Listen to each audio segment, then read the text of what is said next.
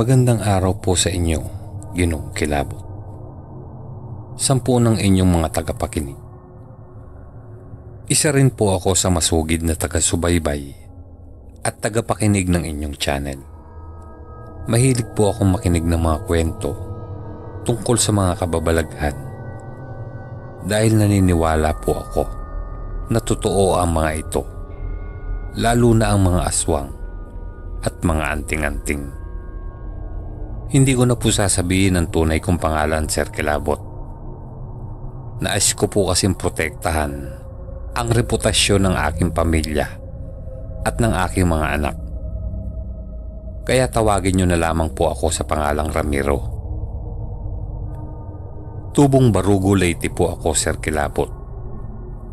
Sampung taon pa lamang ako nang maulila po kami ni Kuya sa aming mga magulang dahil tinamaan ng mga ito ng kidlat sa kubo namin sa bukid noong 1979. Mula noon ay pumisan na kami sa nag-iisa naming kamag-anak na si Tia Suling.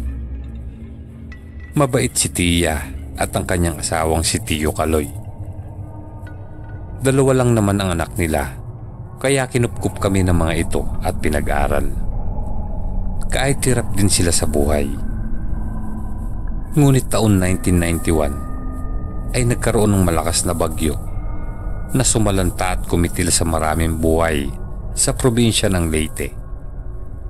Kasama na ang asawa ni Tia at si Kuya.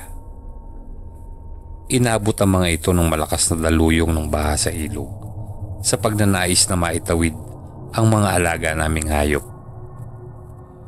Nang dahil sa bagyong Telma, ay tuluyan akong naulilang lubos. Nawala na rin si kuya. Ang tanging taong pinaguhugutan ko ng lakas ng loob. Pagkatapos ng bagyo, ay naging napakahirap ng buhay namin sa baryo. Ang mga tao sa amin ay isa-isang lumuluwas sa syudad para maghanap ng mabuting kapalaran. Kaya kahit man masakit sa loob ko na iwanan si Tia, ay sumama din ako sa isang kababata sa pagluwas nito sa Maynila. Pareho kaming nahirapan makahanap ng trabaho sa Maynila dahil kapwa high school lang ang aming tinapos. Mabuti na lamang na ipasok kami ng pa-extra-extra ng aming kababayan na siya naming pansamantalang tinutuluyan sa Maynila. Sumubok akong mag-apply mag-abroad patungong Saudi dahil uso noon iyon Ngunit lagi na lang akong hindi natatanggap dahil sa kulang ako sa tinapos at kwalifikasyon. Pero dahil ayaw ko nang bumalik sa probinsya, ay hindi ako sumuko sa paghahanap ng maayos sa trabaho. Hanggang sa nakuha po akong trabahador sa isang taniman ng pakwan sa isang nayon sa Bulacan. Inirekomenda ako ng kapitbahay na tinutuluyan namin sa kakilala nitong nagdi-deliver ng pakwan sa protasan nito sa Cubao. Parang nagsilbi akong bantay at tagapag-alaga ng mga nasabing taniman. Doon na kasi ako pinatira ng may-ari sa kubo niya na malapit sa malawak na taniman ng pakwan. Natuwa na ako kahit mababa lang ang naging sahod ko dahil napakaganda ng lugar. Hindi mahirap sa tubig dahil malapit sa ilog at presko. Wala din akong intindihin sa pagkain dahil may supply ng bigas at may konti akong allowance para sa personal kong kailangan. Basta't huwag kong pababayaan na pestihin ng daga ang mga taniman at araw-araw kong mag-aalis ng damo. Yun ang pinakamahirap dahil napakalawak ng sakop ng tanimang iyon. Ilang buwan na ako at kabisado ko na ang pasikot-sikot sa kabuuan ng lugar gamay ko na rin ang aking trabaho. Nag-aalaga na rin ako ng mga hayop sa munting bakuran ng kubo, tulad ng pato at manok. Naglalagay din ako ng patibong para sa ibon. Ika ako ay para maiba ang ulam paminsan-minsan. Isang gabi, pagkatapos kong maghapunan, ay nakarinig ako ng huni ng ibon sa gawin ng taniman ng kawayan. Malapit iyon sa likod ng kubo. Naisip ko na baka may nahuling ibon ng patibong ko. Kaya nagmamadali akong pinuntahan iyon. Malapit na ako sa puno na pinagsabitan ko nang maagaw ng pansin ko ang isang kumikislap na bagay sa may puno ng kawayan. Itinutok ko dito yung dala kong flashlight. Nanigas ako sa aking kinatatayuan nang makita ko ang dalawang gahita sa laking mga alupihan. Halos pumuntay na ang mga ito sa taas ng kawayan sa pagkakaunat. Sa pagitan ng magkapulupot na ulo ng mga ito ay may nakita akong makislap at lumiliwanag na bagay. Ang dalawang alupihan na mukhang kawayang kulay kalawang ay tila pinaglalaruan ng bagay na yon. Ilang minuto po akong hindi makagalaw habang pinapanood ko ang mga itong tila nagsasagawa ng ritual at sayaw. Halos hindi na yata dumadaloy ang dugo ko sa katawan dahil sa saglit na parang hindi ako makahinga sa takot at pagkamangha. Iniisip ko na baka naiengkanto ako o baka napunta na ako sa daigdig ng mga engkanto. Maya-maya ay nakita kong unti-unting kumikilos sa mga ulo ng alupihan pababa. Parang natapos na ito sa ginagawang ritual. Umunat ang mga ito at gumapang papunta sa magkabilang direksyon. Hindi ako kumikilos habang gumagapang ito sa harap ko. Pagkalaki-laki talaga. Pero hindi ako pansin ng mga ito. At nang tuluyan makaalis ang mga ito, ay naiwan ang pinaglalaroon nitong makislap na bagay na patuloy naman na naglalabas ng kulay asul na liwanag. Saglit ko itong pinagmasdan Parang may kung anong pwersa ang nagtulak sa akin na lapitan ito. Sinubukan kong itapat ang kamay ko dito upang alamin kung ito ay mainit. Ngunit wala po akong naramdaman. Pero nanigurado pa rin ako kaya kumuha ako ng dahon ng saging sa malapit at sinungkit ko iyon papunta sa dahon. Saka ko binalot at dinala iyon sa aking kubo para usyusohin. Pagdating ko sa kubo, ay kaagad kong binuksan ng daon ng saging. Ngunit wala na ang makislap nitong liwanag. Isang batong kulay kalawang na lamang ito. Mas malaki lamang ito ng kaunti sa aking hinlalaki. Mapintog ito at may hugis na parang malaking buto ng kalabasa na walang tulis. Biluha ba ito na mataba ang isang dulo? Makintab pa rin ito ngunit wala na ang liwanag nakadama ako ng pagkadismaya. Akala ko ay espesyal na ito, ngunit ordinaryong bato lang pala. Ngunit dahil sa nagandahan ako, ay itinabi ko na lamang ito sa aking damitan. Kinabukasan, ay nabuhusan ako ng kumukulong tubig. Tumagilid kasi ang kasirolang pinag-iinitan ko. Subalit nagtaka ako dahil hindi man lamang ako napasok ni hindi ako nakadama ng init. Kahit nagtataka ay binaliwala ko na lang ito. Inisip ko na lamang na baka naman malamig lang kasi ang kamay ko dahil babad ito sa tubig. Naglaba kasi muna ako ng kaunting damit ko. Pero nakakapagtaka talaga na hindi ako napasok. Nang araw na yun, ay dumating ang amo ko upang bisitahin ang taniman. Kung pwede nang mag-ani, may order na raw sa kanyang pakwa ng kanyang mga suki. Kasama nito ang anak nitong dalagang si Corazon. Oh, heto ang bigas mo, Ramiro. Pasensya na at nako, naging abala ako sa pamamakyaw ng mangga sa Laguna. Habang wala pang pakwan ay kumita man lang. Ang hinging paumanhin nito Ah, wala naman po sa akin yung Man Luis. May mga alaga naman po ako. Ang sagot ko naman, ay nako nahihiya pa rin ako sa iyo iho. Dahil mababa lang ang pinasasahod ko sa iyo. Tapos ay gugutumin pa kita. Pasensya ka na at iyan lang kaya kong isahod sa iyo ngayon. Dahil mahina ang prutas nitong mga nakaraan, hayaan mo't dadagdagan ko pag tumaas ang presyuhan. Muling hingin pa umanin nito Totoong mababa ang sahod ko. kahit sa binata ay hindi sasapat. Pero kesa magutom ako sa Maynila ay mas mabuti na ang ganito. Para lang din akong nasa amin. Ako, sabihin nyo itay, kaya hindi kayo nakapunta din eh gawa ng ayaw niyong magkahiwalay ng dati niyong kaklase. Nagyayabang na sinuwerte daw dahil nakakuha ng trabungko. Nakangusong tura ni Corazon. Ano pong trabungko? Ang inosente kong tanong. Nako, ewan ko iho. Pero ang sabi ng kumpari ko ay isa raw daw itong mutya at inaalagaan ng mga hayop sa ilang o sa tubig. Ito raw ay uri ng mutya na pinapakain ng dasal dahil may sarili itong kapangyarihan at gabay mula sa kalikasan. Iiling-iling naturan sa akin ng aking amo na parang hindi naniniwala. Eh itay, ano daw po ba ang itsura nito? Paano daw ito nakuha? Tanong naman ni Corazon. Ang sabi ni pare ay ang hayop na nag-aalaga sa trabungko at ang mismo ang mutya ang pumipili sa taong magmamayari nito.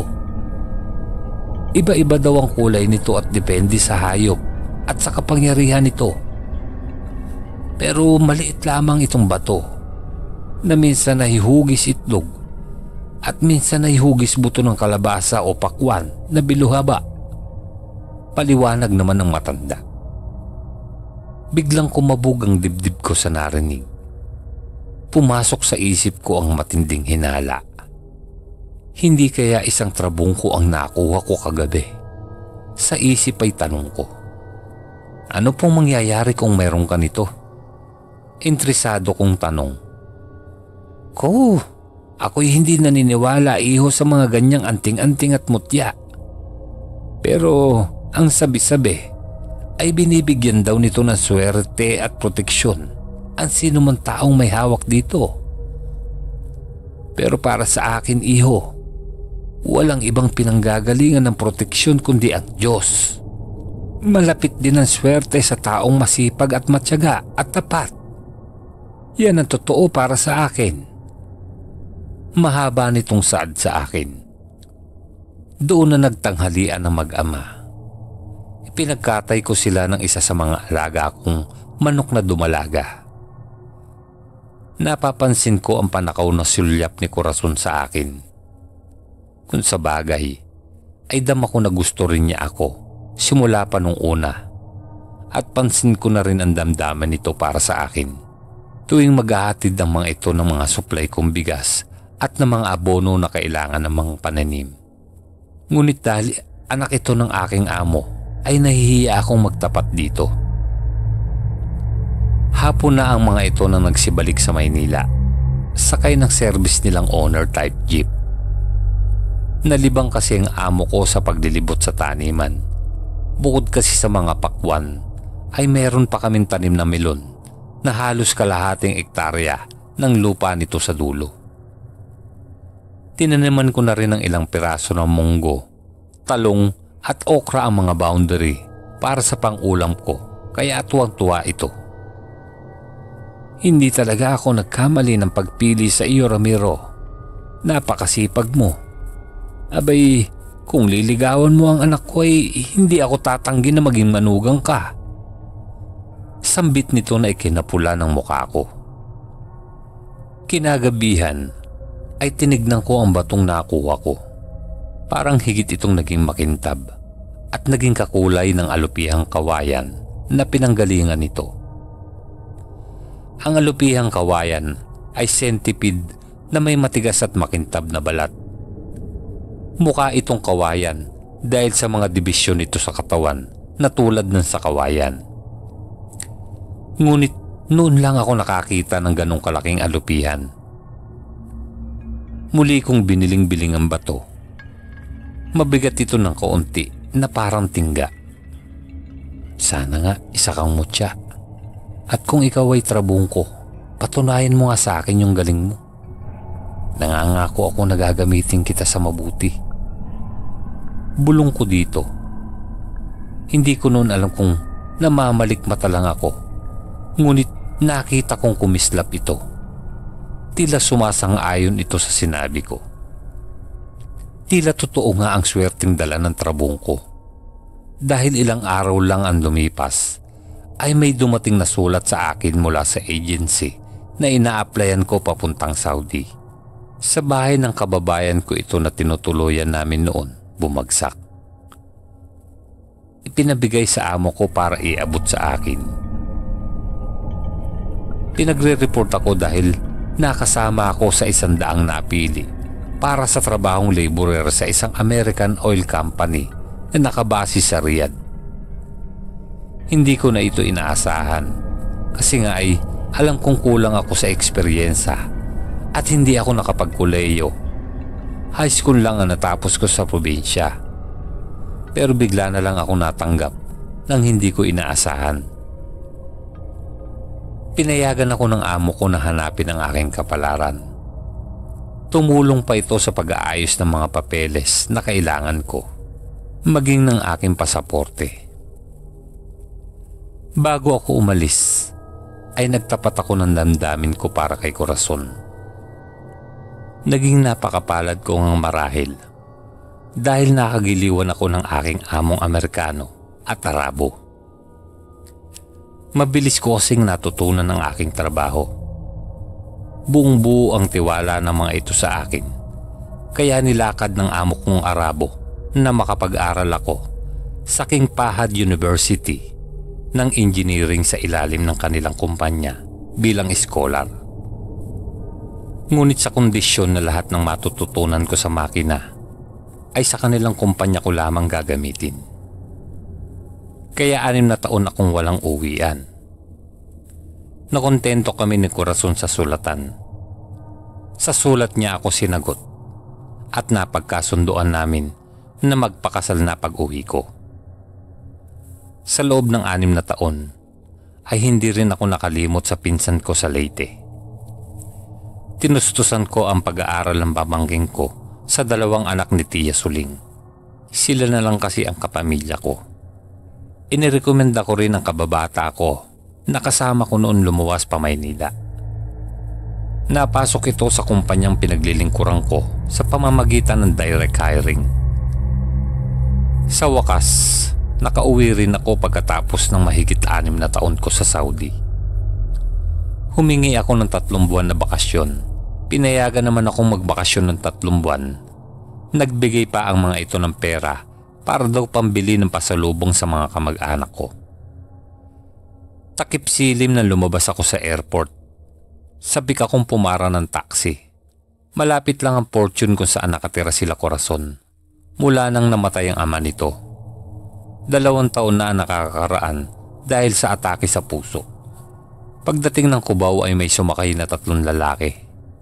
Pinagitnaan ako ng dalawa at yung isa ay tabi ng driver. Hindi na ako nagtaka dahil nga sa nag-iisa naman ako at isa pa ay dagdag kita rin iyon sa driver. Hindi ko kabisado ang Cubao at Marikina. Palibasa nga ay hindi naman ako nakakagala noon Ngunit nagtataka ako nang maramdaman ko na parang umiinit ang mutya ko sa aking bulsa. Kinapa ko ito at naramdaman ko na tila naglalangis ito. Ano kaya ang ibig sabihin nito sa loob-loob ko? Maya-maya ay nagsalita ang katabi ko sa driver. Pare, pwede na dito. Anin ito sa driver. Inihinto naman ng driver ang taxi at nagulat pa kami pareho nang magdeklara ng hold up ang tatlong lalaki sabay tutok sa amin ng baril. Natatakot man ay nagpilit akong kumalma. Tulungan mo kaming huwag mapahamak sa mga ito. Sa isip ay pakiusap ko sa aking trabungko. Akin ang mga pera nyo. Utos ng isa, ngunit hindi ako tuminag Barilin mo na lang ako pero hindi ko bibigay sa iyo yung perang pinag-ipunan ko.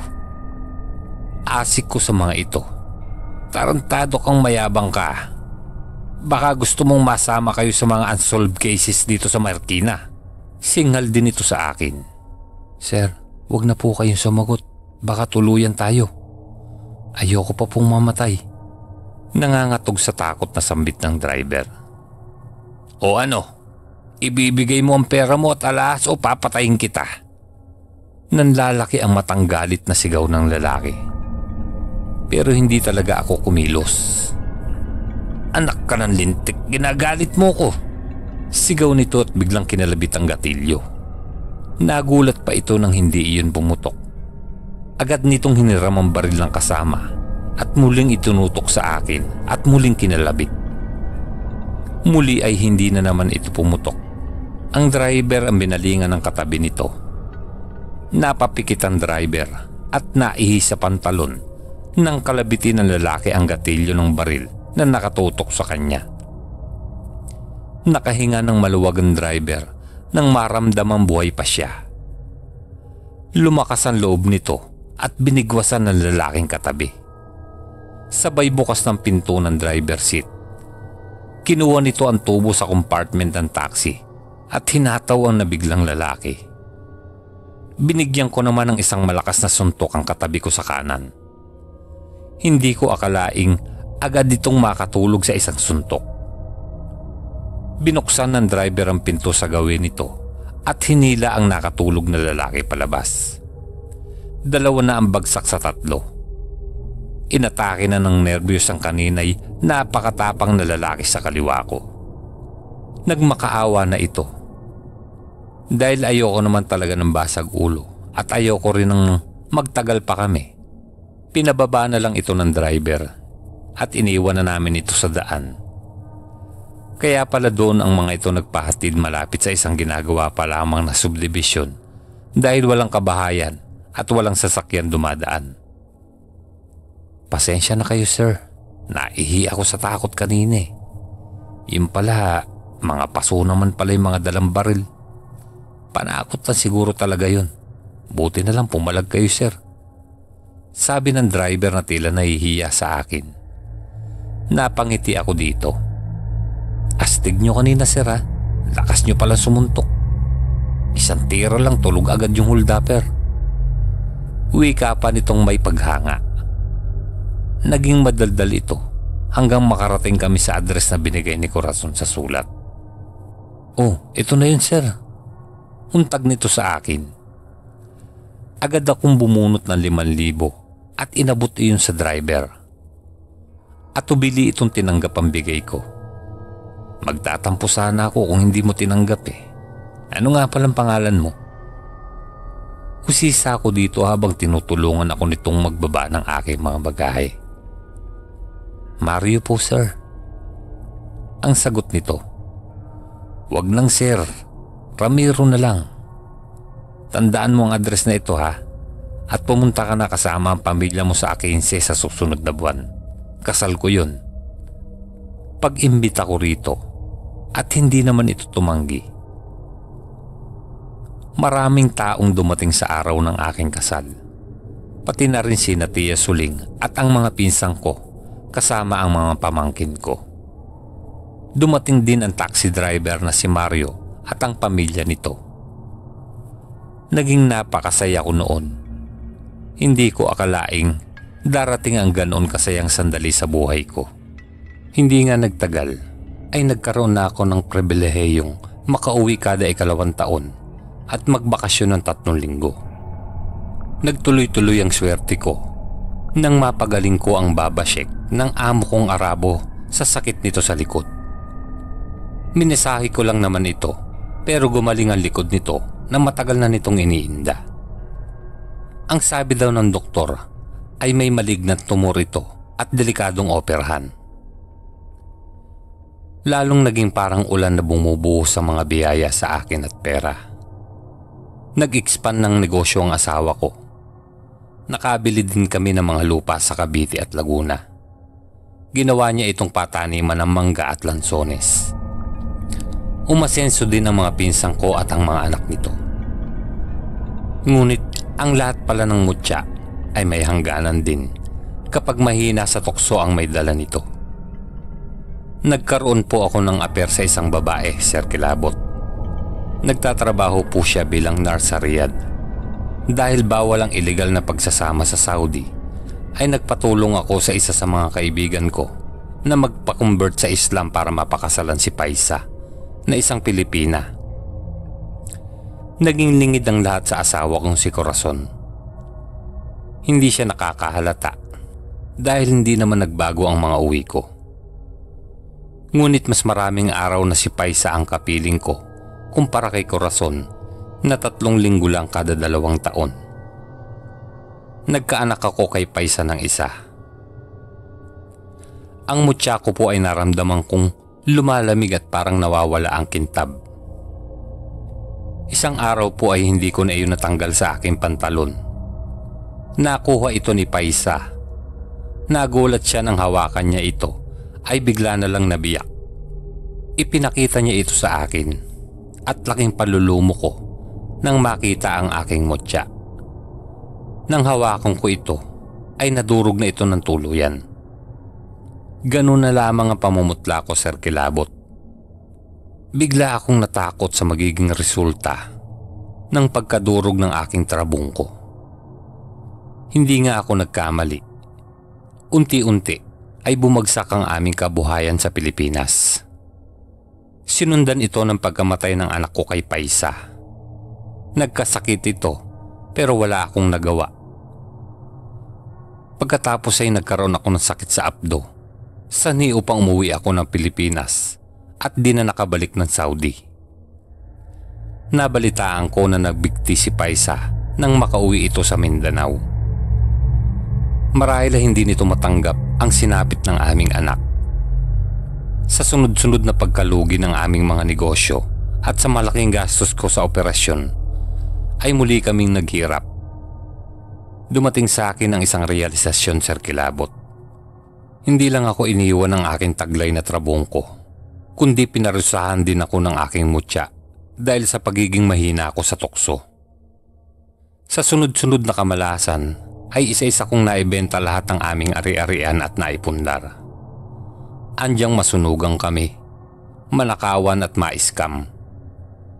Natira sa mga ari-arian ko ay ang bahay at lupa na nabili ko dito sa Bicol sa naging kaibigan ko sa Saudi. Dito na kami nanirahan sir kilabot para makaiwas sa mata ng mga taong mapanghusga. Nagpapasalamat na lamang ako at hindi nadamay masyado ang aking pamilya sa hagupit ng balik ng parusa ng trabong ko sa mga naging kasalanan ko. Kahit papaano ay hindi sila dinapuan ng sakit tulad ko. Inalis ng trabong ko ang aking lakas at kakayahang makapagtrabaho pa. Nagkaroon ako ng diabetes at naputol ang aking kanang paa sa ngayon ay pinapadalan ako ng mga pamangking ko ng pang-maintenance ko. Minsan din ay pinapadalan ako ng aking kababata na asensado na rin at maalwan na ang buhay dahil sa matagal din pagtatrabaho sa Riyadh. Ngunit pala isipan sa kanila ang bigla ang pagbaliktad ng aking kapalaran. Hindi nila akalain na sasadsad ng ganito katindi ang aking buhay. Masakit po ang naging resulta ng aking pagkakamali. Sa gabi ay napapaluha ako sa tuwing naiisip ang kalagayan ngayon ng aking mga anak. Hindi sana sila naghihirap ngayon kung naging matibay lang ako.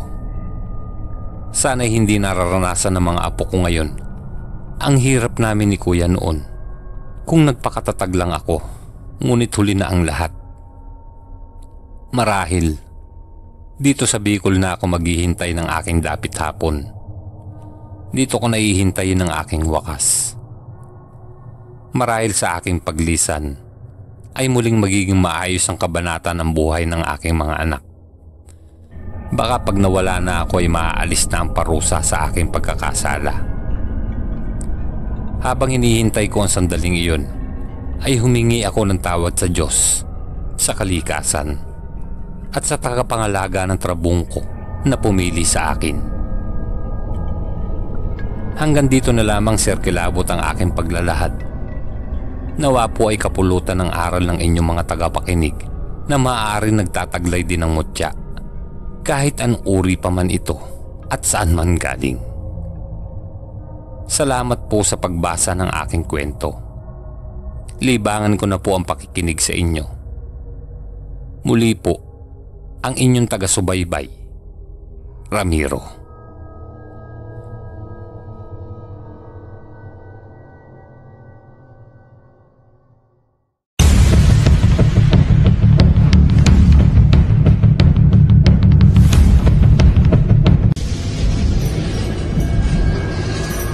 Ito ay kilabot ng misteryo.